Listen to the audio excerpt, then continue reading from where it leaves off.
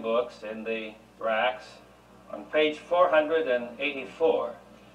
It is entitled, O Perfect Love, and is a prayer which each of us who have been gathered together by our special relationship of affection for these two young people are able in this hymn of prayer to join in prayer and in praise for them at this enormously lovely hour. Let us sing together in prayer.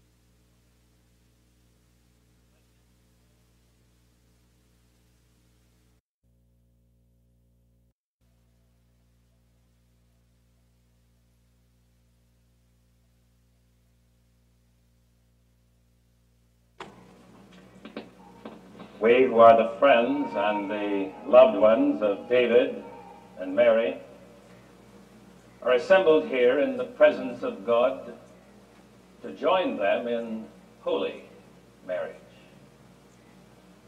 That is, marriage which was designed by God in Eden and confirmed by the gracious presence and the miraculous blessing of Christ at Cana of Galilee.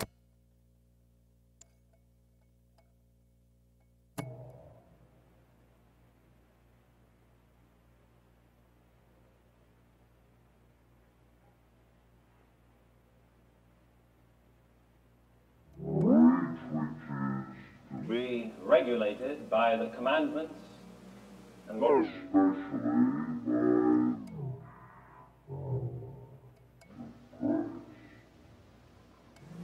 and so is to be held in honor among all men. Mary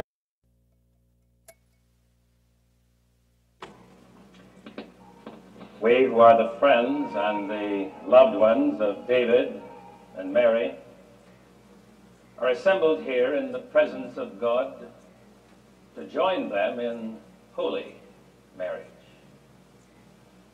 That is, marriage which was designed by God in Eden and confirmed by the gracious presence and the miraculous blessing of Christ at Cana of Galilee. Marriage which is to be regulated by the commandments and more especially by the Spirit of Christ, and so is to be held in honor among all men. Marriage, thus, for which our Lord has declared that a man shall leave his father and mother and cleave unto his wife. And so the purpose of this marriage is to unite your hearts and your lives, blending all of your interests and sympathies, all of your hopes and your dreams. I remind you, it involves mutual compromise, loving sufferance, and a holy trust. In joining any couple in holy marriage, the real uniting and marrying is done by the man and woman in joint covenant between themselves and God. The church adding its blessing as the ministers officiate in the service.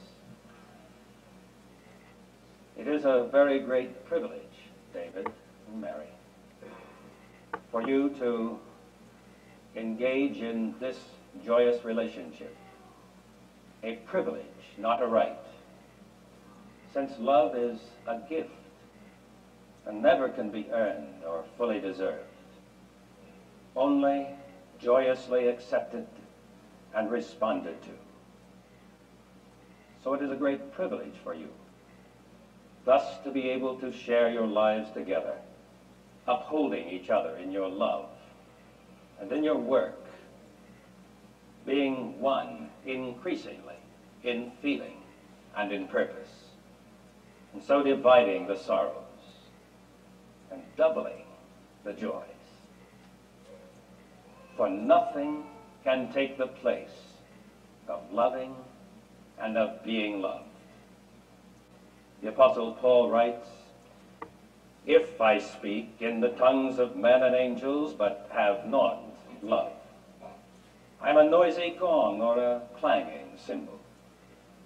And if I have prophetic powers and understand mysteries and all knowledge, and if I have all faith so as to move mountains, but have not love, I am nothing. And if I give away all I have and deliver my body to be burned and have not love, I gain nothing. Without love, whatever we do is nothing. The Spirit through the Paul does not say that it isn't much. He says it's nothing. We love or we perish. And we know how we learn to love. It comes only by first being loved. The only way a child learns to love is by being surrounded with love. As each of you has been so marvelously surrounded throughout your childhood and all the way to this wonderful young adulthood that you share. But if a child does not know he is loved, he grows up hurt and lonely, empty because he has turned in upon himself instead of out to others. Angry he is often, rebellious surely, he learns how to be loving only if he knows he is loved. And so a man increasingly learns to love a woman as he is loved by a woman. And a woman learns to love increasingly a man as she is loved by a man. Love, you see, is a oneness a hoping, an emptiness filled. Love is to be lived, for loving is living. Strong fiber to clasp, strong faith to lay hold upon, strong energy to be expressed. A boy and a girl become a man and a woman. Love is to be shared in creative living. Love believes, trusts, hopes. Love is an eagerness, an earnestness, not given to destructive jealousy, not given to smothering possessiveness, not given to the anger of accusation. Love is a beginning of purpose, a quieting of restlessness, an establishing of confidence. Love is delicate as a flower and withers under indifference. Love is sensitive as a baby and shrinks under harshness. Love is eager as a child and dies under cruelty. Love develops with tenderness. It searches for companionship and it blossoms with attention. It desires closeness and expands with sharing. Love may wither, but it grows again. Love may shrink, but it expands again. And love may die, but it lives again. Love is active, never fully satisfied. It searches, it finds, it explores, it possesses, it gives. Love is the flowing river that carries ships to the sea. Love is the sunshine and rain that gives life to the soil. Love is seed time and the harvest that gives food to the hungry. Love is the prayer, waiting, that gives hope to the boy, the girl, the man, the woman. Love is joy and laughter, faith and creativity. Love sees and understands. It believes, sustains, gives courage and energy and patience. Love is life. Without love, we are nothing. With love, we are more than the sum total of all our being. We are persons, creators and co-creators through love. For love is life and living. And what if we are never loved? And what if loving our own dear ones, we love imperfectly or partially, not wholly? Where shall we turn? Where shall you turn for renewal? Where shall we find the perfect loving? Where does it begin? Where do we find the source and the spring of love? We love, says John the Apostle, because God first loved us.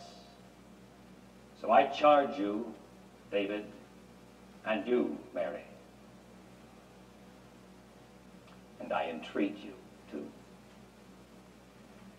As you enter into and sustain this sacred and holy union, that you do seek the favor and the blessing of God who comes to us in Jesus Christ our Lord.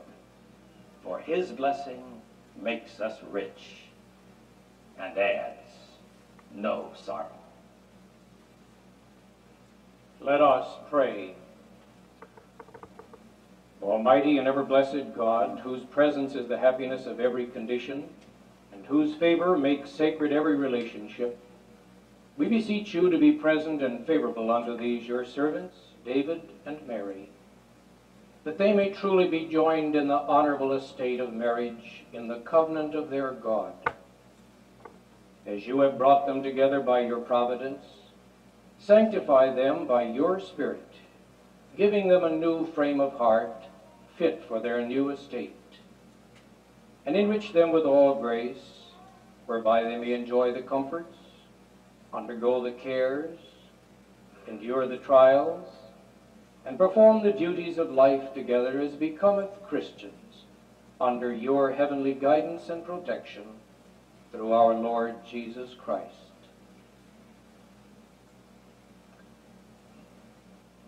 David, will you have Mary to be your wife, to live together with her according to God's purpose for you in holy marriage? Will you pledge your faithfulness to her, to love her and comfort her, to honor and cherish her in all faith and tenderness, and forsaking all others, keep her only unto yourself, so long as you both shall live, will you? Mary, will you have David to be your husband, to live together with him according to God's purpose for you in holy marriage? And will you pledge your faithfulness to him, to love him, and to comfort him? to honor and to cherish him in all faith and tenderness, and forsaking all others, keep him only unto yourself, so long as you both shall live. Will you? I will. Who entrusts Mary to the loving care of David? Her mother and that.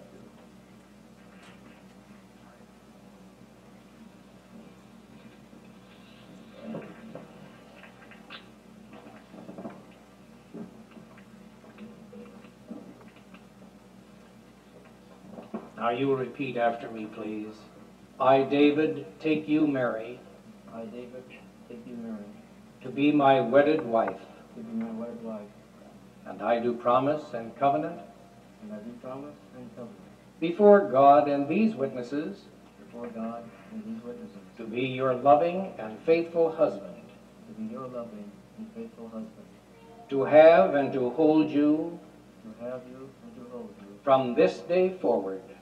From this day forward in plenty and in want, in plenty and in want, in sickness and in health, in sickness and in health, in joy and in sorrow, in joy and in sorrow, to love you to love you. and to cherish you and to cherish you. according to God's holy purpose, according to God's holy purpose, so long as we both shall live. so long as we both shall live.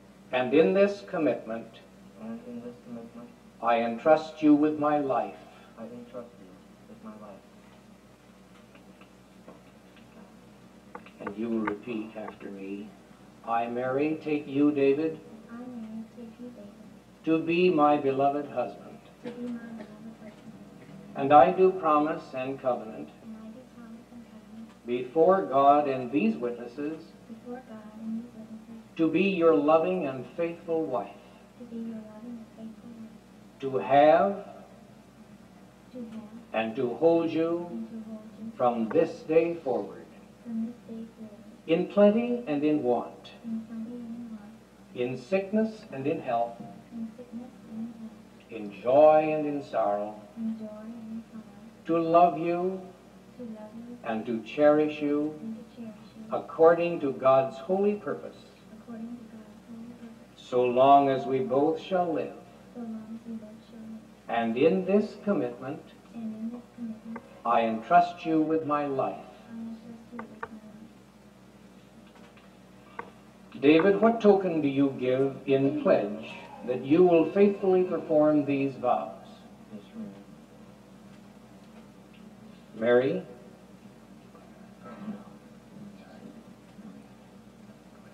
Mary, what token do you give in pledge that you will faithfully perform these vows?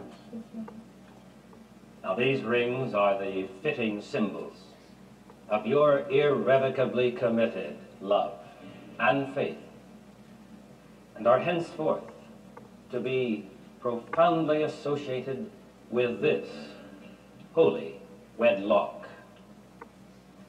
And so these rings are bright, as is the hope and anticipation that fills your whole vision of a, of a life of love for one another and for the others that God gives to you, fills your mind and heart.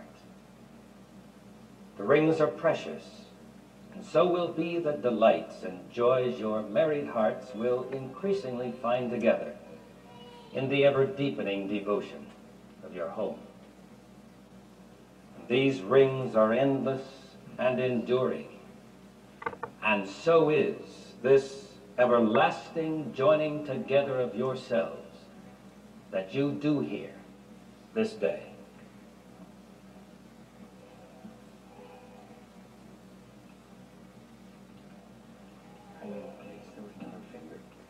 Mary, Mary, with this ring I take you to be my wife, with this ring I take you to be my wife, promising to share with you my life, promising to share with you my life, the responsibilities of our home, the responsibilities of our home, the fruits of our labor, the fruits of our labor, and our sorrows and our joys, and our sorrows and our joys, and building with you. And building with you, through our love of God, through our love of God, a oneness of mind and spirit, a oneness of mind and spirit, which shall endure from now and forever. which shall endure from now and forever.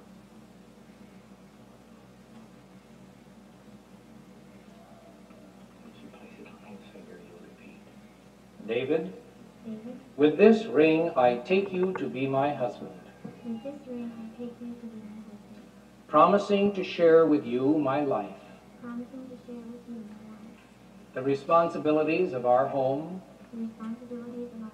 the fruits of our labor, and our sorrows and our joys, and building with you our love of God,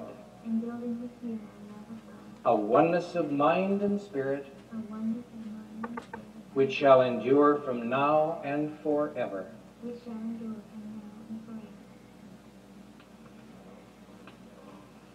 Now may these rings be the chaste and changeless symbols of your pure and ever deepening devotion. Forasmuch then as you, David, and you, Mary, have consented together in holy wedlock, and have plighted each to the other your sacred trust, in the name of God the Father, the Son, and Holy Spirit, I pronounce you now to be husband and wife, whom therefore God has joined together. Let no man divide.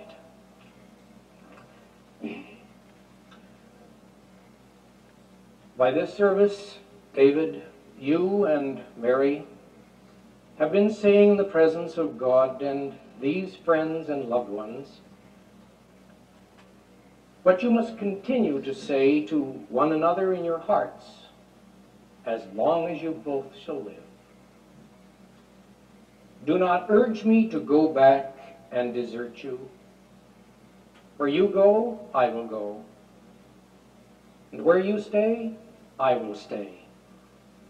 Your people shall be my people, and your God, my God. And I bid you to remember with the Apostle Paul that love is patient and kind. This love is not jealous nor boastful. It is not arrogant nor rude. This love does not insist upon its own way. It is not irritable. It is not resentful. It does not rejoice in the wrong. This love rejoices in the right. And this love bears all things. It believes all things. It hopes all things. And it endures all things. There is nothing this love cannot face.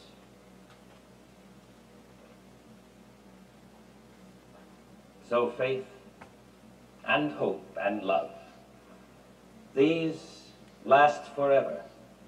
And the greatest of these is love, put this love first. Let us all join together in prayer.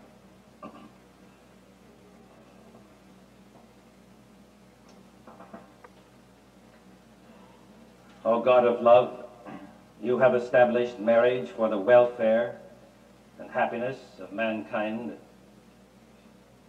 We ask your most gentle blessing, O God, upon all true lovers.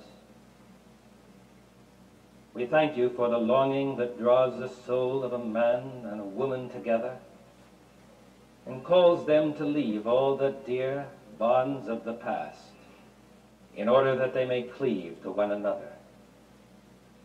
For the whole plan of it is yours, and only with you can we work it out with joy. Bless, we pray, this loving husband, David. Bless him as the provider of nourishment and raiment, and sustain him in all the pressures of his battle for bread. May his strength be her protection, and his character be her boast and her pride. And may he so live that she will find in him the haven for which the heart of a woman truly longs. Bless, we pray, this loving wife, Mary.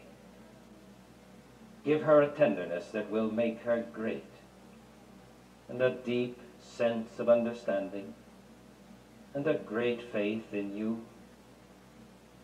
Give her that inner beauty of soul that never fades, that eternal youth that is found in holding fast the things that never age. Strengthen them, we pray, in the understanding that marriage is not living merely for each other, but is two uniting and joining hands to serve you. Bless their great spiritual purpose in life. May they seek first your kingdom and your righteousness, so that all the other good things you want to give them can be added unto them. May they not expect that perfection of each other that belongs alone to you. Help them to minimize each other's weaknesses, and be swift to praise and magnify each other's strengths, and see each other through a lover's kind and patient eyes. Now make such assignments to them on the scroll of your will, we pray, as will bless them and develop their characters as they walk together. Give them enough tears to keep them tender, enough hurts to keep them humane, enough of failure to keep their hands clenched tightly in yours, and enough of success to make them sure that they walk with you. Though God, may they never take each other's love for granted, but always experience that breathless wonder that exclaims, out of all this world, you have chosen me. And when life is done, and the sun is setting, may they be found then as now still hand in hand, still thanking God for each other. May they serve you happily, faithfully, together, until at last one shall lay the other into the arms of God. This we ask through Jesus Christ, the great lover of our souls, who taught us all when gathered together to pray together, saying, Our Father, who art in heaven, hallowed be thy name. Thy kingdom come, thy will be done, on earth as it is in heaven. Give us this day our daily bread, and forgive us our debts, as we forgive our debtors. And lead us not into temptation, but deliver us from evil. For thine is the kingdom, and the power, and the glory forever. Amen. As we have shared in these luminous moments of long and deepening memory that shall be shared. Let us stand together as we sing the Shepherd's Psalm, again, our prayer of assurance and celebration for that walk in the company of God, which David and Mary begin in a different sense together today. Page number 97, the Shepherd's Psalm, let us stand to sing.